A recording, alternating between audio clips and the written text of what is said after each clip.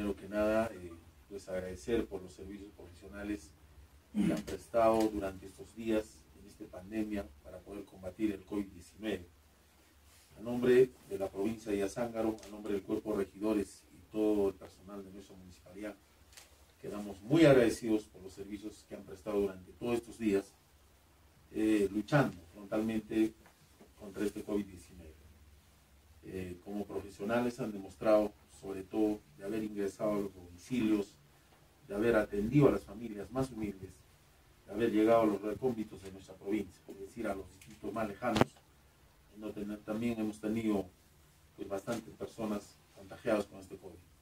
Con la esperanza de seguir trabajando y volver a nuestra tierra, como estamos conversando, eh, pues eh, le vamos a dar estas cortas vacaciones de 15 días para que retornen y sigamos trabajando en beneficio pues, de la salud pública en nuestra provincia de Santa. En lugar de su casa, doctor, conociéndolo, gracias por su profesión y también esta resolución de felicitación por los servicios prestados durante estos días en nuestra provincia.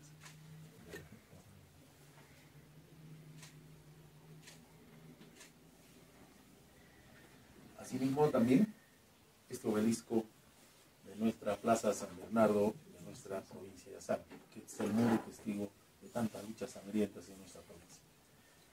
Muy bien. La provincia de Azangro reconoce los profesionales que han arribado desde la región loretana para luchar contra la pandemia aquí en la provincia de Azangro. La licenciada Rosa recibe pues, de manos del alcalde el reconocimiento correspondiente. A continuación, el obelisco histórico que representa a los tres personajes de la provincia de Azangro, Pedro Vilcapasa, José Domingo Choquehuanca y, y Lisandro Luna Ahí tenemos la doctora profesional que ha estado por, por, por muchos, muchos uh, días aquí en la provincia de Sangra acompañando al equipo médico que ha arribado precisamente desde la selva peruana.